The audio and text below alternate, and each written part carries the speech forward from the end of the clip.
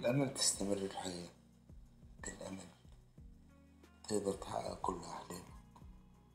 تتخطى كل الإعاقات والصعوبات. صديقتنا الجميلة من ضحايا الشلل فقدت القدرة على الوقوف أو المشي ولكنها لم تفقد العزيمة ولا الإصرار. صديقتنا نموذج جميل وملهم.